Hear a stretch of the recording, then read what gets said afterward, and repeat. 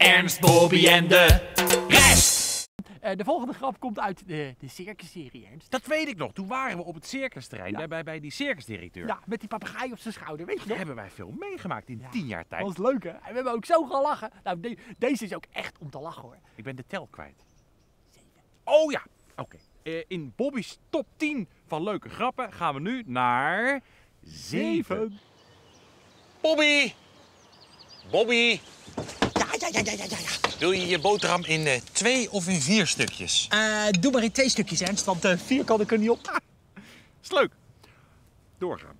Die snap ik nou, die snap, die snap ik nou weer niet. Wat snap je niet? Nou, ik kan, maar, ik kan maar twee stukjes op. Ik kan nu vier stukjes op. Ik heb nee, twee heb ik al genoeg. als je toch een boterham in tweeën Ja, doorsnijdt. daar daar kan ik twee stukjes op. Maar als je hem in vieren Nee, doorsnijdt... er kan er geen vier op. Ik kan er maar twee op. Dat- Nee, ik denk, ik snap...